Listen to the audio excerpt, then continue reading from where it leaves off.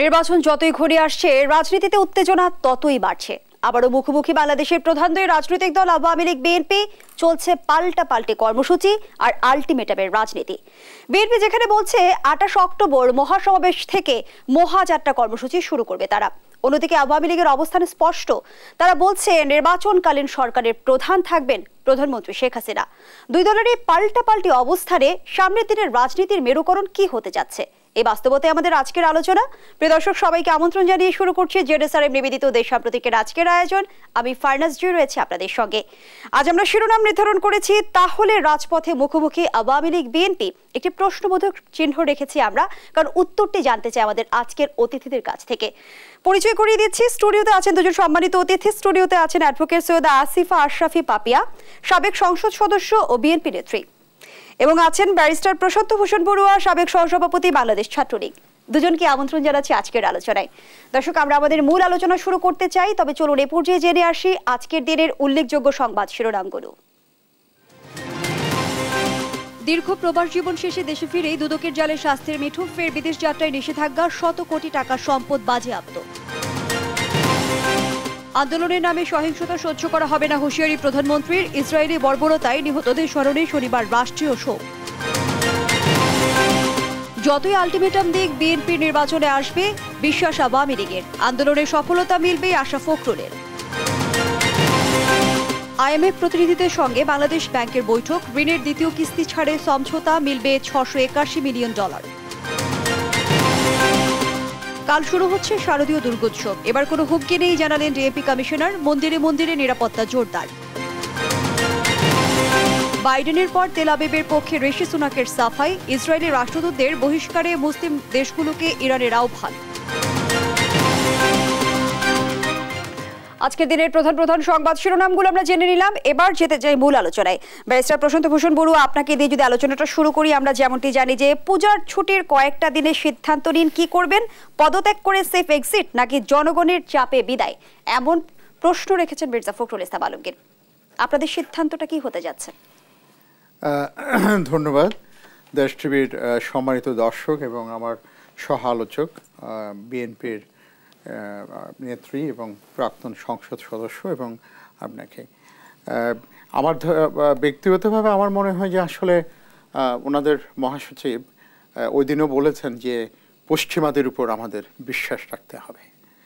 এবং আরেকজন বলেছেন যে পিটার হাস বাবা তুমি অবতার, একেবারে অবতার বললেন, আমি ওনার শব্দটি বলছি। তো একদিক দিয়ে ভালো যে ওনারা কিছুটা শব্দ চয়নে অবতার তারপর পশ্চিমাদের উপর বিশ্বাস এগুলো বলা শুরু করেছে।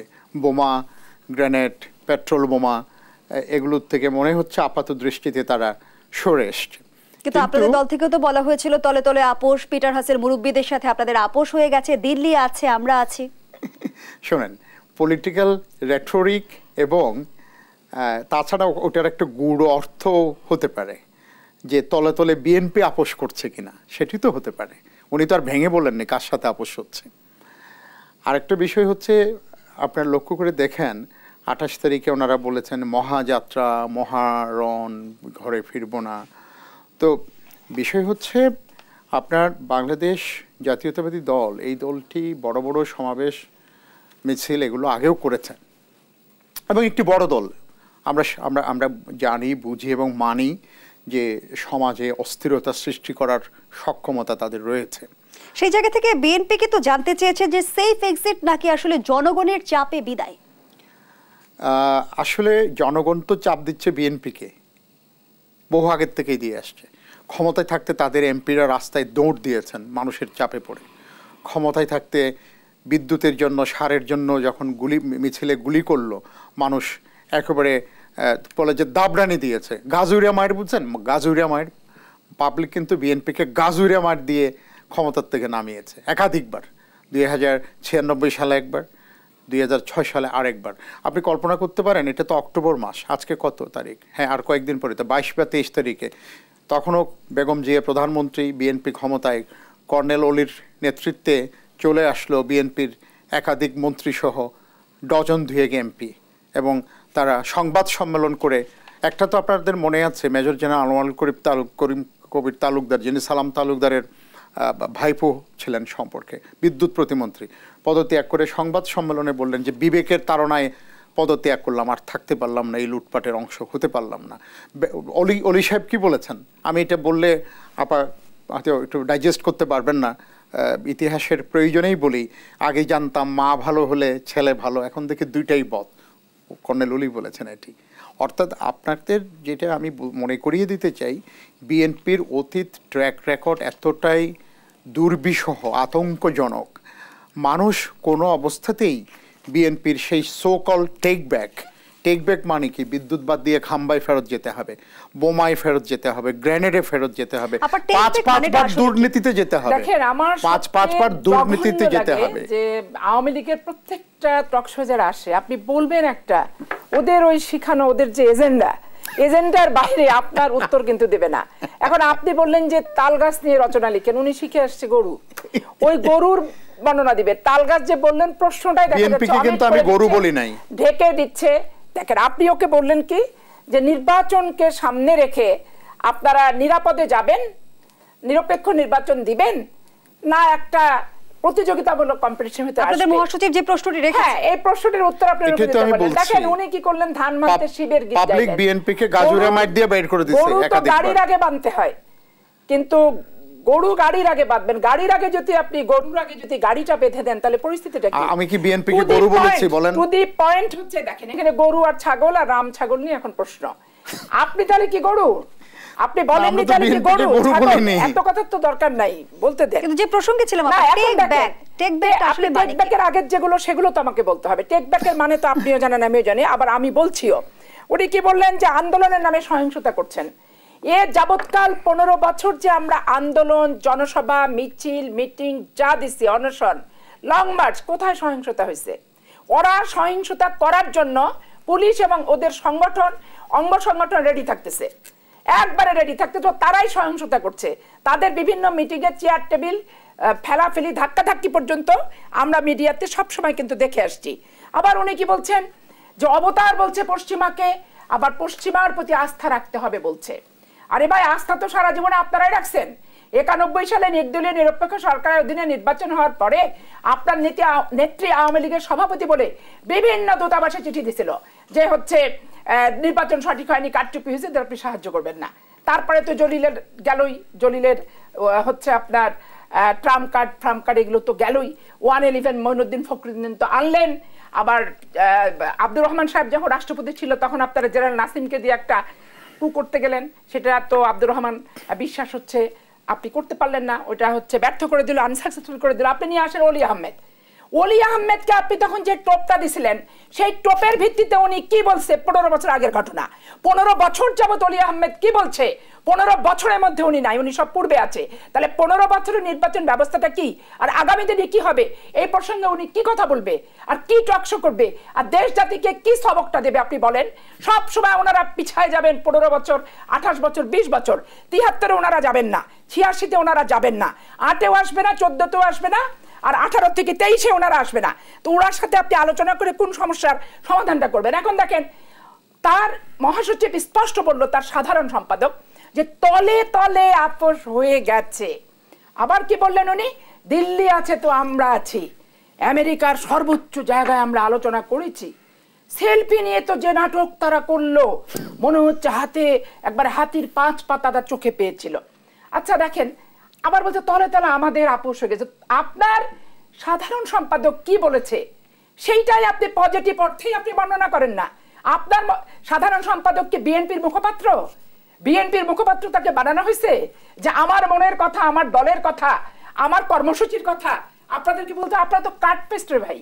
আমি কর্মসূচি দিলে আপনি পায়ে আপা, গন্ডগোল করার জন্য আমি শেষ করি আমি সেটা উত্তর দিচ্ছি আপনার। আমি সেটা উত্তর আপনাকে ঘোষণা করেছি। আমি উত্তর দেব। আপনি থামেন। আপনার- কর্মসূচি আমি দিলে আপনি দিয়ে দিচ্ছেন। আপনি বলছেন বিএনপি তো প্রধানমন্ত্রী নাই জানো কি আপনার শেখ হাসিনাকে আমরা প্রধানমন্ত্রী বানাবো? আপনাকে বানাবো। আমাদের এত বড় দল দেশনেত্রী বেগম খালেদা জিয়া এখনও জীবিত। স্থানীয় কমিটির সমস্ত মেম্বার জীবিত। তরিকুল আপনার তারেক রহমান এখনও জীবিত। তা আমরা কাকে বানাবো? সেটা আমরা বসে সিদ্ধান্ত নিব। নাই। হু আর ইউ আমরা কাকে প্রধানমন্ত্রী করব কাকে মহাসচিব করব কাকে রাষ্ট্রপতি করব? আপনারা কে? আপনারা কে? উনি কি পলাতক? আপনারা কে? এগুলা দেশবাসীকে বলে কিচ্ছু হবে না। না, না, উনি কি পলাতক হচ্ছে কিনা? ডাকাতের বাপ।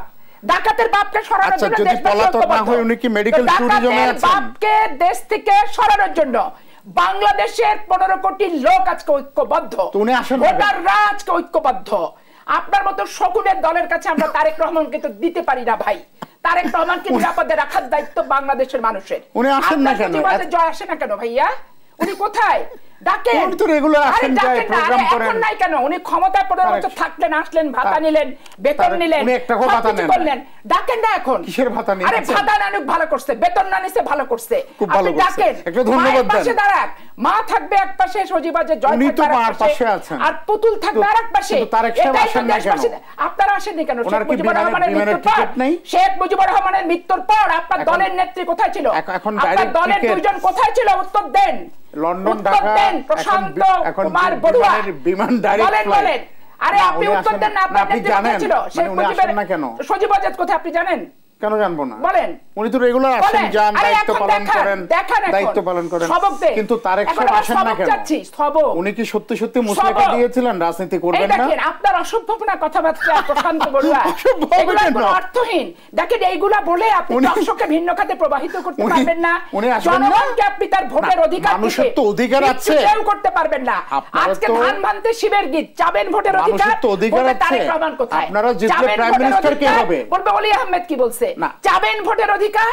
বলছে যে তাহলে কি থামবার কথা বলব? আজকে আপনি যখন বলবেন ভোটের অধিকারের কথা বলেন ভোটের অধিকারটা জনগণ কীভাবে পৌঁছাবে? আপনারা জয়লাভ ভোটের অধিকারের বেলা তারা নাই। তারা যে দুর্নীতি করছে গোটা বাংলাদেশে হাজার কোটি চুট করছেন স্বীকার তো করলেন। এটা ক্ষমতার থেকে নাবেন হাওয়া নামার ভবন পর হচ্ছে তো। নারী ভুড়ি রং বেরং যা আছে, পাপি আপা, সব চলে আপনারা আসবে। তো বুড়ির ভোট সাথে চুরি- কি আরে নাবেন নাবেন ক্ষমতা থেকে নাবলে তো বুঝবেন আপা যে ভোট চুরির অভিযোগ আপনারা করে থাকেন সেটা কিন্তু ক্ষমতাসীনরা আপনাদের বিরুদ্ধে করে থাকে। যে ভোট চুরির কালচার শুরু হয়েছে আপনাদের আমল থেকে আচ্ছা, আপনি ভোট রহমানের আমল থেকে কালচার শুরু হয়েছে। প্রতিদিন talk show করেন। খালেদা জিয়া ভোট চুরির হ্যাঁ, জন্য- হ্যাঁ, জিয়া আমি তো রহমান বলছি, করেছে, বেগম আপনি জিয়া প্রতি- করেছে। 73 সালে যখন নির্বাচন হলো শেখ মুজিবুর রহমান সাহেব কিছু পরাজিতকে বিজয়ী ঘোষণা করল আর বিজয়ীদেরকে পরাজিত করল। তার ভিতরে one of them Khondaker Mostaq তাহলে জিয়াউর রহমান কবে আসলো? তিয়াত্তরের নির্বাচনটা দেখেন আপনি। ওনারা আমাদেরকে বলে 77 জিয়াউর রহমান কি ওনারা আমাদেরকে বলে যে আমরা হচ্ছে হানা ভোট। আপনার প্রশ্ন উত্তর দেবো না আপনি তাকানোর দিক। আমার আচ্ছা, প্রশ্ন উত্তর দিতে দেন।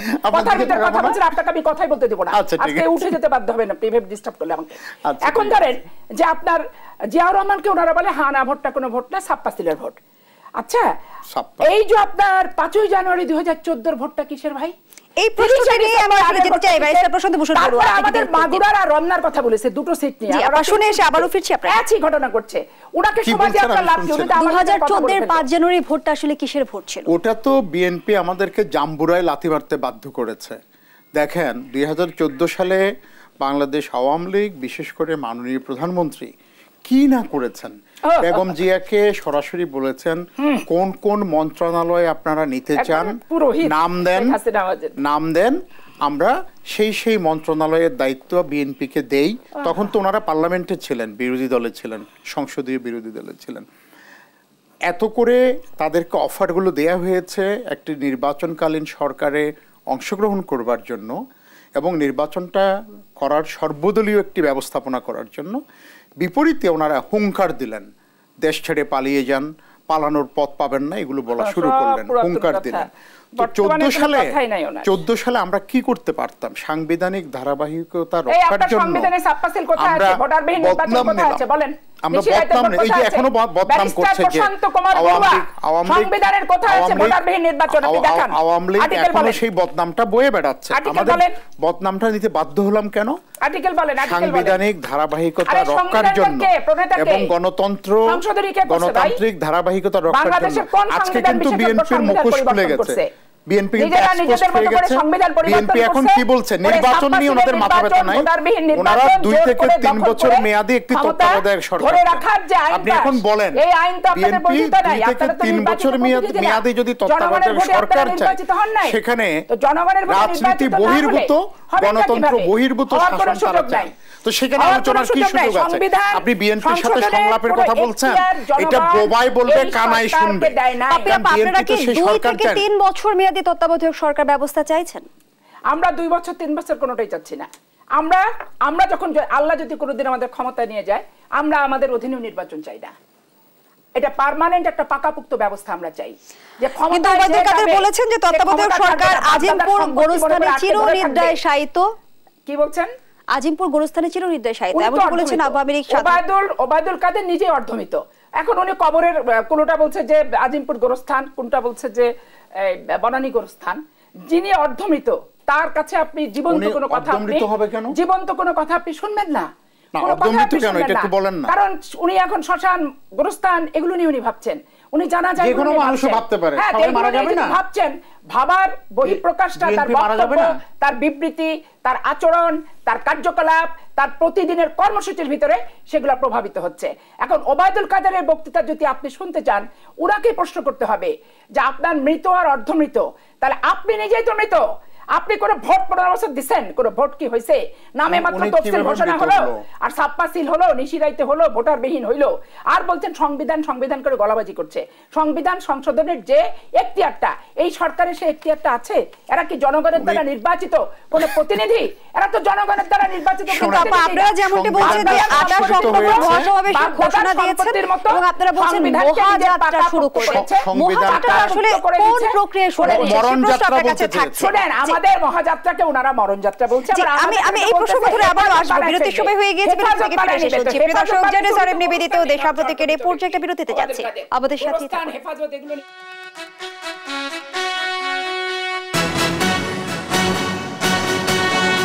বিরতির পর আরও একবার আমন্ত্রণ জানাচ্ছি। আপনারা দেখছেন জেডেসরেম নিবেদিত দেশ সাম্প্রতিক। আজকের আলোচনা চলছে তাহলে রাজপথে মুখোমুখি আওয়ামী লীগ বিএনপি এই শিরোনামে। আবারও ফিরছে আলোচনায়। পাপি আপা একটা প্রশ্ন রেখে গিয়েছিলাম যে আঠাশ অক্টোবর মহাসমাবেশের ঘোষণা দিয়েছে বিএনপি। আপনারা বলছেন সেখান থেকে আবার মহাযাত্রা আপনারা শুরু করবেন। সেই মহাযাত্রাটা আসলে কি হতে চাই আমরা তফসিল বন্ধের যাত্রা করব না? ভোট বর্জনের যাত্রা আমরা করব না? আমরা হচ্ছে নির্বাচন ভোটারবিহীন যেটা হচ্ছে এবং নির্বাচনে ভোটারদের কোনো সম্পৃক্ততা নাই নিরপেক্ষ নির্বাচন এই সরকারের অধীনে হবে না। তাহলে মূল টার্গেট কি আপনাদের তফসিলের দিনটি? না? তফসিলের দিনটি কি আপনাদের মূল টার্গেট তফসিলের আঠাশ তারিখ থেকে তো শুরু হচ্ছে আমাদের। একবারে এই সরকার যদি এক একপাক্ষিক নির্বাচন করতে চায় একবারে সেই দিন পর্যন্ত চলবে তার পর পর্যন্ত চলবে। এবার আর কোনো ছাড়াছাড়ির বিষয় নাই। এবার ভোটের অধিকার অধিকারী। আদায় আদায়ের ব্যবস্থাই করতে হবে। বিগত সময় আমরা যেমন দেখেছি আপনারা পদযাত্রা করেছেন রোড মার্চ করেছেন এবার আসলে কি ধরনের কর্মসূচি নিয়ে আসবে এবার সব কর্মসূচি হবে ঢাকা জেলা কেন্দ্রিক কর্মসূচি হবে। আমার জানা মতে কারণ আমি তো আমাকে তো আর কেউ বলেনি আমাদের যা ঘোষণা দেন মিটিংয়েই দেন। আমাদের আগে জানার কোনো সুযোগ নাই আর আমি সেই নেতৃত্ব পর্যায়ের কোনো ব্যক্তি আমি নই। তো আমার যেটা অ্যানালাইসিস এবং যেটা ইয়ে যে প্রত্যেকটা ভোট যেহেতু গোটা বাংলাদেশ ব্যাপী অতএব কর্মসূচি ঢাকা সহ গোটা বাংলাদেশ ব্যাপী কিনতে হবে। এটা শুধু একক একটা ডিস্ট্রিক্ট একটা জেলা একটা বিভাগে হবে বলে আমার মনে হয়। আমরা একটা আসলে কর্মসূচি সম্পর্কে ধারণা পেলাম। ধন্যবাদ জানাচ্ছি পাপি আপা ব্যারিস্টার প্রশান্ত ভূষণ বড়ুয়া। যেমনটি আসলে বলা হচ্ছিল যে তার আর ঘরে ফিরছে না। আপনাদের আসলে পদক্ষেপটা কি হচ্ছে? আমরা বিগত সময় যেমনটি দেখেছি যে বিএনপির কর্মসূচির সাথে আপনাদের পাল্টা কর্মসূচি আপনারা রাখেন। মহাযাত্রার পাল্টা কি হতে যাচ্ছে? পাল্টা কোনো কর্মসূচি আমরা রাখি না। আমরা যেটি করি বিএনপির অতীত ট্র্যাক রেকর্ডের কারণে মানুষ সতর্ক থাকে। আর রাজনৈতিক যে কোনো রাজনৈতিক দল কর্মী সংগঠন রাজনৈতিকভাবে সচেতন তারা সব সময় একটি অস্থিরতা সহিংসতা সন্ত্রাস এই রকমের বিশ্বাসযোগ্য সন্দেহ থাকলে তাদেরকে প্রস্তুত এটা আমি একটু উদাহরণ দিতে চাই। ধরেন পাড়ায় ডাকাত পড়েছে। লম্বাতে চলে গেল। ডাকাত পড়লে গ্রামবাসী সবাই রাত জেগে কিন্তু পাহারা দেয়। বাংলাদেশের রাজনীতিতে ডাকাত পড়েছে এবং এই ডাকাতের নাম কিন্তু বিএনপি আজকে বলে কথা না এই রাজনৈতিক ডাকাতি রাজনৈতিক মাসলম্যানগিরি রাজনৈতিক মাস্তানি ওনারা কিন্তু দুই হাজার ছয়েও করেছেন। মায়েরও খেয়েছেন পাবলিক মায়েরও দিয়েছে তারপরেও কিন্তু বিএনপি ভালো হয় না। আপনারা কিন্তু শুরু থেকেই বলছিলেন যে অক্টোবর থাকবে আপনাদের দখলে রাজপথে বিএনপিকে আপনারা দাঁড়াতেই দিবেন না। সে ধরনের কোনো পরিকল্পনা রাজপথ শুনেন রাজপথ তো মানুষের দখলেই আছে। আওয়ামী লীগ থাকতে হবে কেন? মানুষ ওই যে আঠাশে জুলাই তারা একটা বিরাট সমাবেশ করে উনত্রিশে জুলাই যে ঢাকার রাজপথে বিভিন্ন হ্যাঁ, পথে প্রবেশ পথে যে তারা অবরোধ বসিয়েছিল বিএনপির আগের দিনের কর্মীরাই তো যায় নাই কয়েকশো লোক আপনার সমস্যা কি? আপনি কি করবেন সেটা সুতরাং বিএনপি বাংলাদেশের মানুষ বিএনপির করা। কর্মীদেরকেও তো বিএনপি কনভিন্স করতে পারে না আমি বুঝব। তারা যদি ধ্বংসাত্মক কার্যকলাপ করতে যে গিয়েছিল অবরোধ সুতরাং আঠাশ তারিখ থেকে যদি ওনারা বসে যান ওনারা বলবে বসে যাবে ওনাদের তো জাতীয় ক্ষমা সমাবেশ করা উচিত এবং জাতি যাত্রা বলেছে না মহাযাত্রা মহা ক্ষমা যাত্রা করা উচিত। ওনারা যে অপকর্মগুলো করেছেন বিচার এখনও শেষ হয়নি। শুভ বাংলাদেশের মানুষের গায়ে পেট্রোল বোমা মেরেছে বিএনপি তো চোখে মুখে বুকে সব জায়গায় তো দগ্ধ মানুষের পোড়া চামড়ার গন্ধ। বিএনপির হাতে রক্ত। দেখেন আপনারা সরকারি সন্ত্রাস জন্ম হয়েছে সরকারি টাকা চুরি করেন। আর বঙ্গভবন থেকে টাকা যে চুরি চামারি যে শুরু করল বিএনপি এখনও সংশোধন হলো না। কর্মকাণ্ড বিএনপির সমস্যা কি? কর্মকাণ্ড কি? দুই কান আছে। দল হিসেবে বিএনপি দুই কানেই কাটা? যেহেতু দুই কানেই কাটা। তার কোনো লজ্জা শরম আজকে না হলে তাদের কর্মীরা বিদেশে অ্যাসাইলামও পাচ্ছে না বিএনপির নাম তারা দিতেই চাচ্ছে না না। তারা খুব ভালো করে জানে নিরপেক্ষ ভোট হলে তারা না। মার্কিন যুক্তরাষ্ট্রের তারা গণভবনে মায়া ছাড়তে পারে না।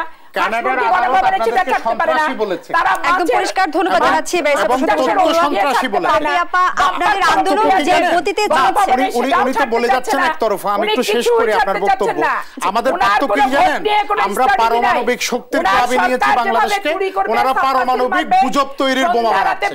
পারমাণবিক গুজব বোমা। আমরা কি বলছি? পূজার ছুটিতে সিদ্ধান্ত নেন। বাংলাদেশের মানুষ বহু আগে সিদ্ধান্ত নিয়ে বিএনপিকে পলিটিক্যালি বছর চুরি করতে বাংলাদেশ তলানিতে ঠেকছে। বাংলাদেশের ফাংশনাল দল অবনতি এখন একটা ফাংশনাল হচ্ছে কেন? 100 টাকার নিচে পশ্চিমাদের উপর নাকি বিশ্বাস রাখতে হবে। তার মানে কি? বাংলাদেশের জনগণের উপর কোনাদের বিশ্বাস নাই। একদম পরিষ্কার বসু কারণ উনি আমার কথা বলতে তাহলে আমি কিছু শুনি আমি যদি প্রশ্নটি শেষ সেটা হচ্ছে কাদের যেমন আপনাদের শেষ বার্তা দিয়েছে যে নির্বাচনকালীন সরকারের প্রধানত যাচ্ছে প্রধানমন্ত্রী শেখ হাসিনা। সেই বাস্তবতে আপনারা বলছেন যে সরকার কত মরণ যাত্রা শুরু করেছে। বিএনপির আন্দোলনের সেই সক্ষমতা কি রয়েছে?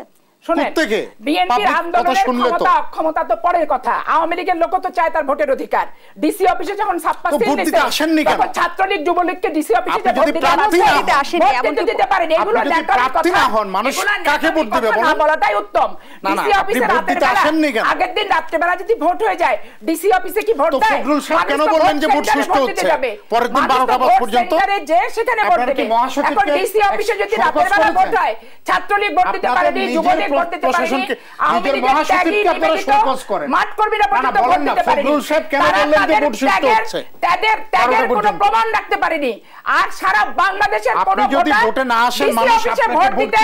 কোন লোক রাত্রেবেলা যাবে না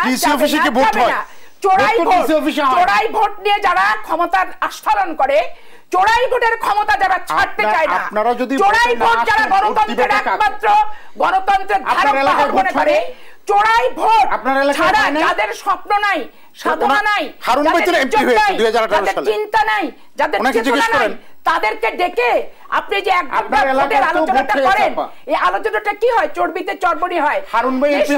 একটা বিকলাঙ্গ সন্তানের জন্ম দিয়ে যায় যেই সন্তানটা হাঁটতে পারে না উঠতে পারে না চলতে পারে না। আজকে শুনেন বিনা ভোট ভোটারবিহীন নিশি রায়। উনি কিন্তু আমার জবাব দিচ্ছেন ওনার এমপি হয়েছে বিএনপির পক্ষ থেকে এমপি হয়েছে। তারা শুনেন আপনি বিএনপির আমলে এমপি কে হয়েছে? তারা কি ওরা দয়া করছিল? ওরা কি দয়া করে হয়েছিল না ওদের সাথে দয়া কেন করব? নির্বাচন করেন কি হয়েছে করছিলাম। বলেন বলতে পারেন ওনাকে আপনার এলাকায় তো নির্বাচন হয়েছে। লজ্জা লাগে না? বেহার মতো 300 সিটে চুরি করে ডাকাতি করে আবার সিটে 40000 ভোট আপনারা রাত্রে বেলা সিল মারছেন। সিল মেরে জামাত সেকেন্ড হয় তাকে থার্ড করছেন। ওরা আপনার থার্ড আওয়ামী লীগ সেকেন্ড হইছে হারুন ভাই এমপি হয়েছে। আরে হারুন ভাই এমপি আপনি প্রশান্ত বড় কি বানাই দিছিলেন? না না। হ্যাঁ? শুনেন প্রশান্ত বড় নির্বাচন করে এমপি হয়েছে আমি একটু উদাহরণ দিচ্ছি। কান্তিকাল অতিক্রম করছে। জাতি মহাসংকটে নিপতিত মানবাধিকার ভুলন্তিত। ভোটের অধিকার নাই। এখানে ছেপলামি আলোচনা করবেন না। ছ্যাপলামি আলোচনা না করে গঠনমূলক আলোচনা করেন। নির্লজ্জের মতো আপনি বলেন যে আপনাকে মন্ত্রী পরিষদ দিতে চাইছে। এই আওয়ামী লীগের কাছে কি আমরা দয়ার দান চাই? আমরা কি আপনাদের অঙ্গ সংগঠন? জাতীয় পার্টির মতো আপনারা কি আপনাদের তেল মারা নতজানু পররাষ্ট্র নীতির মতো আমরা বিরোধী দল? হ্যাঁ? আপনারা বিএনপিকে কি কাউন্ট করেন? এই সমস্ত নির্লজ্জ ব্যয়ের মতো কথা ছাত্র রাজনীতি করে আসা প্রশান্ত বড়ুয়ার মুখে দেশ জাতি এগুলো কিন্তু আশা করে না। আচ্ছা, বলেন, কি আপনাকে কথা বলতে হবে গঠনমূলক কথা। কেমন আমি সেটা? ছাপ্পা সিল মারা ভোট করতে দেবো না। প্রধানমন্ত্রী আমি বিনা ভোটের ভোট করতে দেবো না। আমি জোর করে ক্ষমতায় থাকার ভোট আমি করতে দেবো না। আমি ওদের অধীনের ভোট করতে দেবো না। তো ওরা কি করবে সেটা ওদেরকে বলতে হবে না।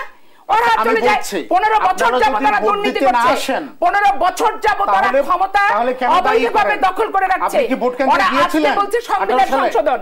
এখতিয়ারই নাই ওদের সংবিধান 18 সালে সংশোধনের। কি আপনি ওদের সংসদে ক্ষমতায় থাকার পাকাভুক্ত বিধি ব্যবস্থা? ভোটের দরকার কি? তার চেয়ে রাজতন্ত্র ঘোষণা করুক। আজকে ওদের নিরাপত্তা আইন তারা করছে তাদের সুরক্ষা করার জন্য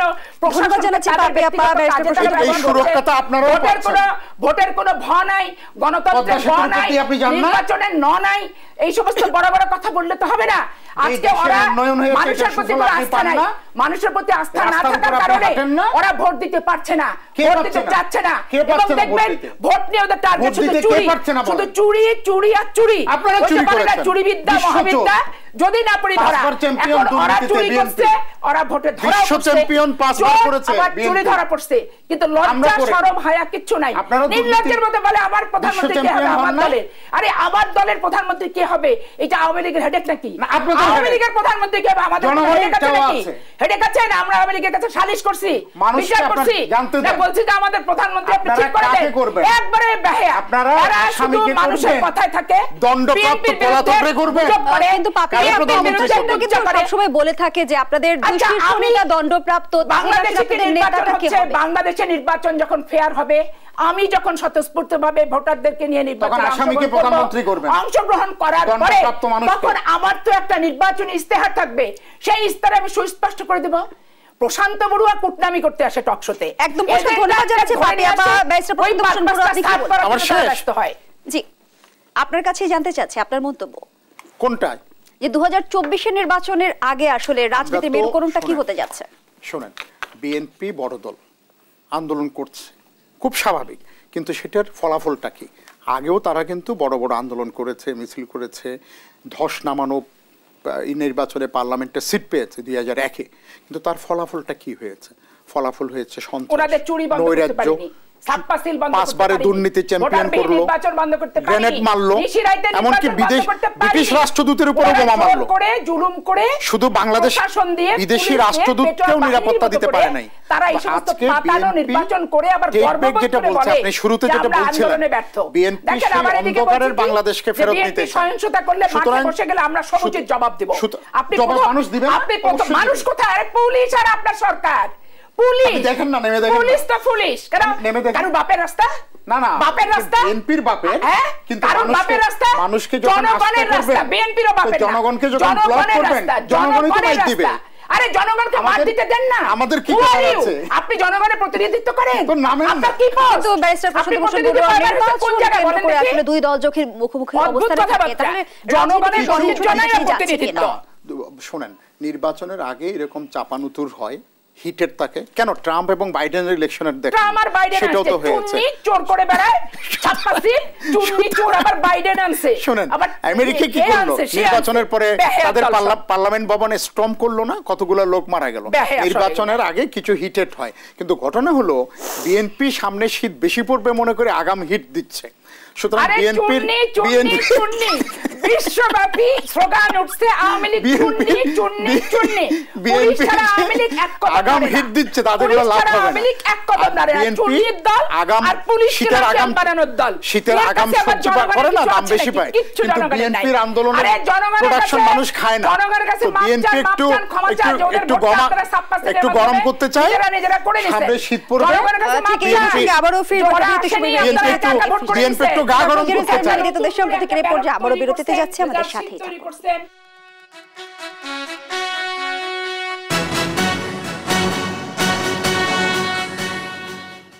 বিরতির পর আরও একবার আমন্ত্রণ জানাচ্ছি। আপনারা দেখছেন জেনেসরের নিবেদিত দেশ। সাম্প্রতিক আজকের আলোচনা চলছে, তাহলে রাজপথে মুখোমুখি আওয়ামী লীগ, বিএনপি এই শিরোনামে। আবারও ফিরছে আলোচনায়। পাপি আপা, আপনাদের উদ্দেশ্যে যেমনটি বলা হয়েছে যে, প্রধানমন্ত্রী আসলে কোন দুঃখে পদত্যাগ করবে? আর বিএনপি যতই আলটিমেটাম দেখ না কেন, বিএনপি শেষ পর্যন্ত নির্বাচনে আসবে, এমনটি বলছে আওয়ামী লীগ। আসলেই কি তাই? আসলে দেখেন, এখানে দুঃখের জন্য আমি পদত্যাগ কেন করব সুখের জন্য আমি ক্ষমতা দখল করে রাখব, ব্যাপারটা এরকম না। ব্যাপারটা হচ্ছে কি, নির্বাচন যে পদ্ধতিতে বাংলাদেশে হয়েছে, সেই পদ্ধতির সেই ব্যতিক্রম ঘটাই দিছে। দেখেন সমঝোতার ভোট করল আটে। ভোটারবিহীন নির্বাচন করল চোদ্দতে নিশিরাইত করল। এখন তারা সন্ধ্যা রাতে একটা ভোট করতে চায়। এখন এই যে ভোট চূর্ণি, এই ভোট চূর্ণিরা নিজেকে চূর্ণি বলছে না। নিজেরা যে ভোট চুরি করছে, স্বীকার করছে না। সংবিধান সংবিধান করে গলাবাজি করছে। তো ভোটের ভিত্তিতে যেই পার্লামেন্টের সদস্যরা নির্বাচিত না, সেই পার্লামেন্টের কোনো আইন কি বৈধতা রাখে?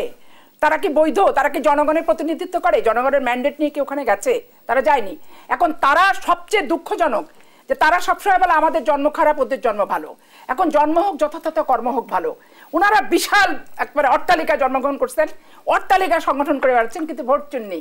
সারা বিশ্ব আজকে খেতাব দিছে, ভোট চুন্নি। যেখানেই যাচ্ছে বলছে, ভোট চুন্নি ভোট চুন্নি ভোট চুন্নি। গোটা বাংলাদেশের স্লোগান, যদি উনার কান পর্যন্ত না পৌঁছায়, অন্তরের অন্তরস্থল পর্যন্ত না যায়, ধ্বনিত প্রতিধ্বনিত যদি ওনাদের মনে, অন্তরে, কণ্ঠে, কানে কোথাও শ্রবণ শক্তিতে না যায় এখন এই আপনি কি ব্যবস্থা করবেন? ভোট চুন্নি বলছে যে অমুকের কে প্রধানমন্ত্রী হবে, মুখ ফুসকে বলে ফেলেছে যে ভোট হলে তো বিএনপি ক্ষমতা আসবে। ফেটান করে আবার চেঞ্জ করে বলছে, কে প্রধানমন্ত্রী হবে? আরে আমার দল সুষ্ঠু নির্বাচন হবে, অংশগ্রহণ করবে, আমাদের ইস্তেহার থাকবে, আমাদের কর্মসূচি থাকবে, আমাদের লিফলেট থাকবে যে আমরা কীভাবে সরকার চালাতে যাব, কীভাবে সরকার গঠন করব, কে প্রধানমন্ত্রী হবে এবং কে কীভাবে আমরা রাষ্ট্র পরিচালনার, আমাদের একটা রূপরেখা থাকবে না? ওনারা কোনোভাবেই যেহেতু টিকতে পারছে না, জনগণের কাছে নৈতিক অধিকার, ভোট চাওয়ারা যেমন নাই, একবারে পনেরোটা বছর বালাবাজি করছে, পনেরোটা বছর ধরে দুর্নীতি করছে। দেখেন, অর্থনৈতিক করাপশন করছে করছে। আজকে দেখেন, মানুষকে হত্যা করছে, খুন করছে, মিথ্যা মামলা দিচ্ছে। আবার বলছে, রাস্তায় কিছু করলে আমরা পুলিশ দিয়ে অমক করব, তমক করব। আরে, পনেরো বছর থেকে তো মিছিল মিটিং করছি, আমরা কি এমন করছি? আর ওনারা কোন পুরোহিত? ওনারা কোন পেশিমাম? ওনারা কোন হচ্ছে ঠাকুর? যে হচ্ছে একবারে পুত পবিত্র, শুধু সাগর কলা খাচ্ছে আর হচ্ছে সাবু আর দুধ সিদ্ধ খাচ্ছে। এমনই এরকম কি ওনারা? হ্যাঁ যে বৈষ্ণব পদাবলী ওনারা আওড়াবেন কোরআন শরীফ পরিবর্তনযোগ্য নহে, কিন্তু সংবিধান কি পরিবর্তনযোগ্য নহে? সংবিধান তো পরিবর্তনযোগ্য। যুগের পর যুগ পৃথিবীতে প্রত্যেক রাষ্ট্রে মানুষের প্রয়োজনে সংবিধান সংযোজন হয় সংবিধান পরিবর্ধন হয় পরিবর্তন হয় সংশোধিত হয়। জানে। যেহেতু সংবিধান ধর্মগ্রন্থ নয় সংবিধান তো পরিবর্তনযোগ্য। সংবিধান কতলযোগ্যও বটে? সংবিধানকে ছুরি মেরে আর আপনারা করা যায়? সংবিধানকে কাটাছেড়া করা যায়? সংবিধানকে সংবিধানকে লাথি মেরে ইউনিফর্ম পরে প্রেসিডেন্ট নির্বাচন করা যায় জিয়াউর রহমান। বাংলাদেশে দুইটা লোক পারভেজ মোশারফ মোশাররফ এবং জিয়াউর রহমান সরকারি দেশ রক্ষা হবে? ভোটের অধিকার কি চাকরি ফেরত পাওয়া যাবে? রত থাকা অবস্থায়? ইউনিফর্ম। পরে ইলেকশন করেছে রাষ্ট্রদ্রোহমূলক অপরাধ করেছে জিয়াউর রহমান। বাংলাদেশের দুটি সর্বশ্রেষ্ঠ ভোট ডাকাতের নাম বলতে হলে সাতাত্তর সালে জিয়াউর রহমান ছিয়ানব্বই পনেরোই ফেব্রুয়ারি খালেদা জিয়া। দুইটা সর্বশ্রেষ্ঠ ভোট ডাকাতের নাম। হ্যাঁ, আমি হ্যাঁ। দুঃখিত এভাবে বলার জন্য নাম্বার এভাবে বলে বেগম জিয়া অসুস্থ আমি ওনার সুস্থতা প্রার্থনা করি। আমি শুধু ইতিহাসের রেফারেন্সের জন্য বলি।